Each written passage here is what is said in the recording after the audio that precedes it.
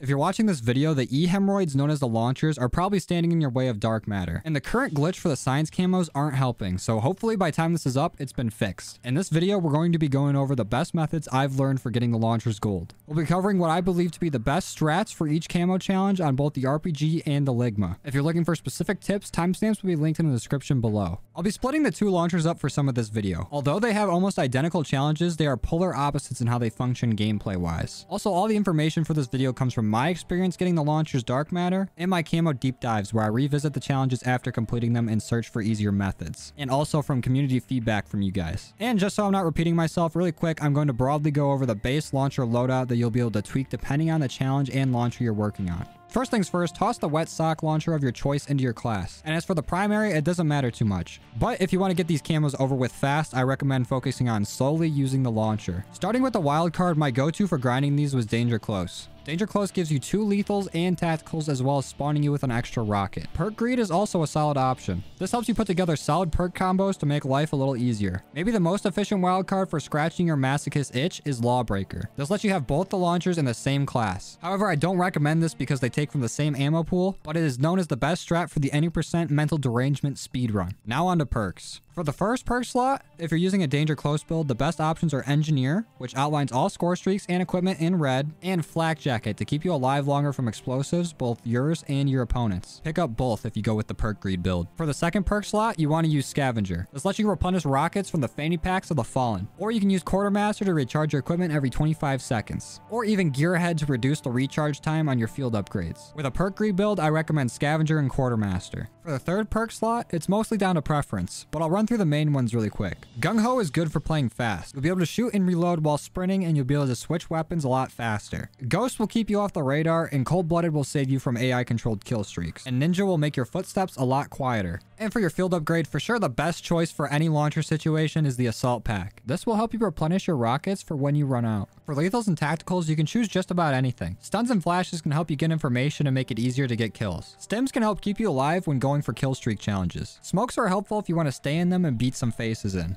Yes, melee kills count, and we'll get into that more later on. For your lethal, Semtex helps a ton. This can help you counter people using the Antichrist perk known as Flak Jacket. Just throw it to weaken them, then follow it up with a rocket. The same thing can be said about all other explosive lethals, but I think Semtex works the best. And the Tomahawks are a sick oh shit option when you bite off more than you can chew and need to get a quick kill to stay alive. And for game modes, the main ones you want to use are Nuketown 24-7, Normal Domination, Fireteam Dirty Bomb, and Combined Arms Assault. But the game modes you use can vary a lot and are also dependent on preference. Core is great for staying alive longer and giving you more time to shoot down score streaks. Hardcore is good for kills, but Flak Jacket, even though it's been nerfed slightly, still exists in hardcore and can lead to even more frustration due to how easy you can die. Nuketown might be the best overall map for these weapons, but it can get a little crazy sometimes. Definitely the best for kills. Other maps like Checkmate are also good for kill challenges if you camp in the middle of the plane. They also have ammo resupply bins if you run out of rockets. Combined Arms Domination is the best for score streaks slash vehicle challenges as long as you avoid maps like Cartel and Miami. Players will mainly use vehicles at the start of games and if you make it to overtime. The rest of the game you can just shoot down score streaks that come in. Using these in Warzone count towards challenges as well. And heading into Plunder with these is kinda extra, but if you need to level these up, completing recon contracts with the weapon out will speed up the leveling process. And since these challenges count in Warzone, make sure you put a munitions box on your class so you can replenish your rockets. Now let's go over the challenges that are similar between the two launchers. For the spray camo, you need to get 50 eliminations. The Cigma is an insanely slow and overwhelmingly weak launcher. And the RPG is so much quicker to shoot, so you can kind of play fast and loose with this one. They have roughly the same damage output, but the only difference is the speed. To get these kills easier, you gotta build your class around doing so. My loadouts for this challenge would be Danger Close Wildcard, Flak Jacket, Scavenger, and Gung Ho, with smokes and a Semtex. For a perk greed build, it's basically the same, but add Engineer, Quartermaster, and Ninja. And of course, for all those, use an Assault Pack. The best strats I found for getting kills with these sacks of garbage are as follows. First, hop into Hardcore Nuketown for the easiest kills. If you don't like Hardcore, Core should work fine, but it'll take longer. Try to aim for direct impacts. There's little to no splash damage on launchers in this game, so direct impacting is your best bet for getting kills. ADS speed is very slow for the Cigma, so pre-aiming and jump peeking makes life easier. Easier. Tossing a Semtex to lower the health and effectiveness of Flak Jacket, then shooting a rocket at the opponent is the best way to counter this fucking nuisance. The good old 1-2 is solid and reliable. Launch a rocket at them, then clean them up with a quick bop. But the funniest and arguably easiest method is to throw down a smoke and chill in it. Wait for people to blindly run through or by and give them a nice little how you doing. In hardcore, this is a one-shot kill and core, it's two shot. But it's definitely faster and more deadly than actually using rockets. Also, I'm not sure if finishing moves count, so keep that in mind when using this method. And if you can't sit still, try flanking opponents and use the element of surprise against them. Just cycle through these methods and you'll have this challenge done in no time. Difficulty? boxing scarce. For the classic camo, you need to kill two enemies without dying 20 times in multiplayer. This challenge was nerfed a little since I last did it, bringing it down from 3 kills without dying 25 times. Soft flex. Anyways, this challenge will test your patience and break your balls, or lady balls, in any way that you can think of. We're gonna borrow a bit from the spray camo section, but with self-preservation in mind.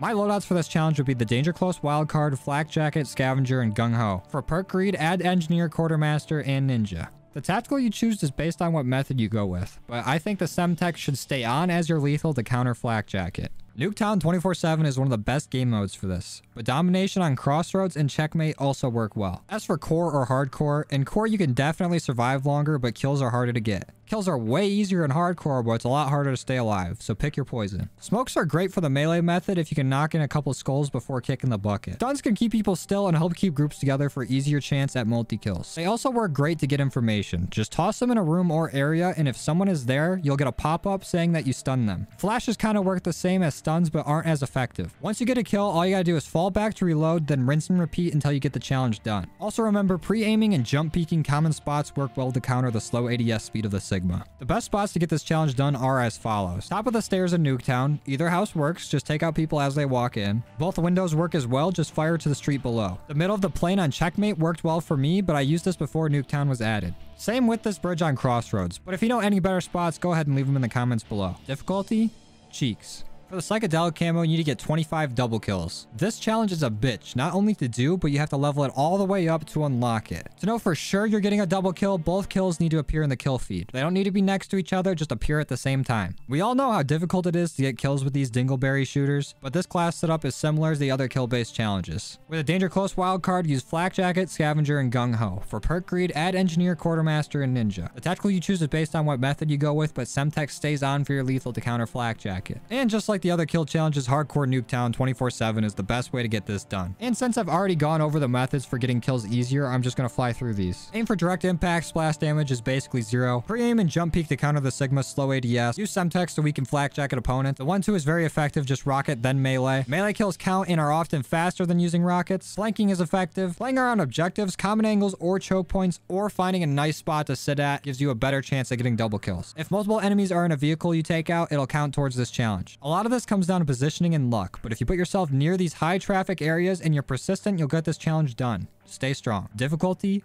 Amari. For the Stripes camo, you need to destroy 50 equipment, score streaks, or vehicles in multiplayer. For the Ligma, this is cake. You can get this done pretty easily because of its lock-on feature. With the RPG, it'll take a little longer because of how difficult it is to shoot down aerial streaks, but this challenge itself isn't too bad. For the class with Danger Close, Engineer is a must, Scavenger is self-explanatory, and Cold Blooded will allow you to take on AI-controlled streaks without the threat of dying. With Perk Greed, just add Flak Jacket, Quartermaster, and for the third perk, you can just add in whatever. But really quick, in order, here are the most helpful perks in the third slot for this challenge. Ghost, Gung Ho, and Ninja. For this challenge, it's definitely better to do this in core. Nuketown works fine and Combined Arms often has a lot of score streaks coming in. But you can also get this done while working on other challenges. Just pay attention to when score streaks come in. An easy way to stay on top of this is to go into settings, interface, and turn subtitles to on. This just adds a little bit more of a heads up when streaks are coming in. There aren't too many methods for getting this done. It's pretty straightforward, but for the Cigma, spy planes are the easiest to take down. They come in often and only take one rocket. Counter spy planes take two. Care package helis take one. For the RPG, sentry turrets and RCXDs are the easiest to take down, but aren't seen as frequently as other score streaks. All field upgrades count for this as well. All drivable vehicles in Dirty Bomb, Combined Arms, and Warzone also count for this challenge, so long as someone from the opposing team is using them. Difficulty? Easy. For the geometric camo, you need to destroy 50 ground-based score streaks or vehicles in multiplayer. This one is also pretty straightforward. We're going to be using the same build as we did for Stripes. For the class with Danger Close, Engineer, Scavenger, and Cold-Blooded. With Perk Greed, just add Flak Jacket, Quartermaster, And for the third perk, add whatever, but in order, use Ghost, Gung Ho, and Ninja. Also, the subtitle method is useful for all streak-based challenges. Just go to settings, interface, and turn subtitles to on to see when ground streaks go down. Ground streaks are very uncommon. The main ones you'll see are sentry turrets and RCXDs. Since these are more rare to find in Nuketown 24-7, head on over to Combined Arms if you're hurting on this challenge. It's very important that you avoid the maps Cartel and Miami if you don't already avoid them. They have little or no vehicles and you'll be wasting your time. But in Combined Arms, usually at the start of the game, there are vehicles that both teams have in their spawns that they can use to get around the map quicker. What you need to do is hop in one and drive to the main choke point and be ready to shoot some people down. This works even better if you have someone driving for you. But what I found from playing is after the start of the game, people don't use vehicles nearly as much. So I'd suggest working on another gun or challenge while waiting for more people on vehicles to come around. But do not, I repeat, do not leave the game. It may be tempting to hop into multiple combined arm games just to farm kills at the start, but these challenges will not count if you leave. So it's best just to tough it out and stay in the game. Water camping on Armada works well. Just head over to land and resupply rockets and you'll be golden. And on Crossroads, sitting over on the mountain where everyone is sniping works great for giving you a good view of the map and a decent chance to take vehicles out. Difficulty? Annoying. I think I've covered just about all the overlap for these launchers. And for this section of the video, we're going to be covering score streak based challenges. We're going to use the same loadout for all these streak based challenges, so I'll go over it really fast. For a danger close build, engineer, scavenger, and cold blooded. With perk greed, just add flak jacket, quartermaster, and for the third perk, like I've said before, just take your pick, but in order, the most helpful perks are ghost, gung ho, and ninja. Also, like previously mentioned, the subtitle method is helpful for all streak based challenges. Just go to settings, interface, and turn subtitles to on to see when these streaks come in. All right, now that all that's said and done, let's get into the Cigma 2.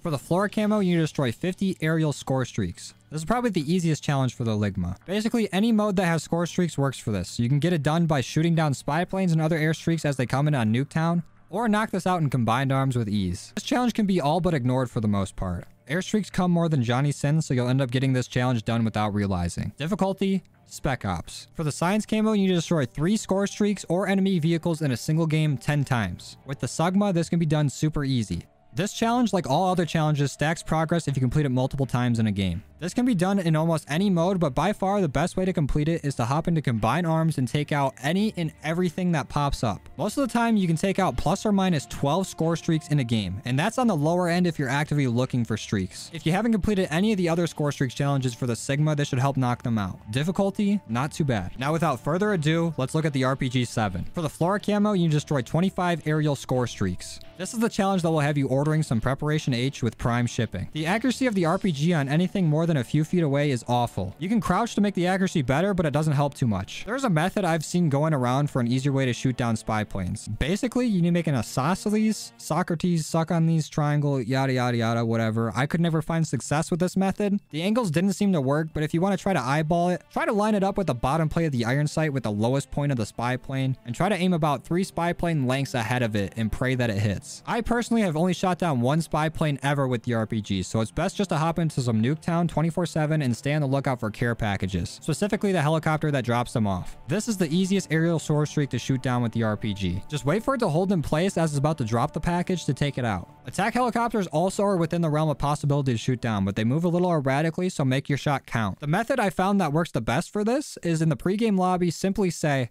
Hey, can you guys run care packages? I'm trying to get my RPG challenges done.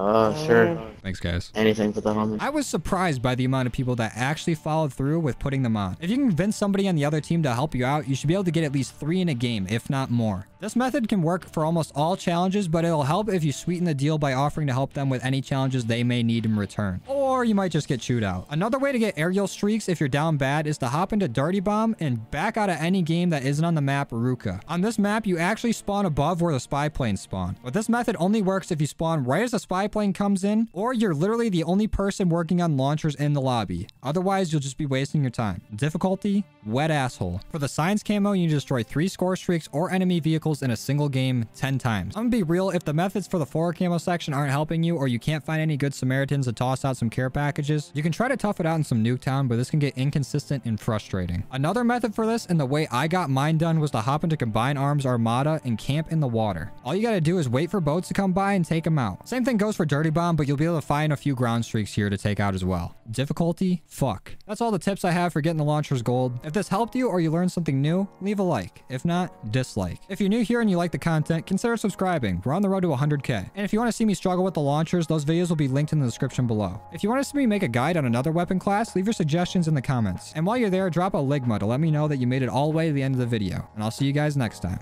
Later.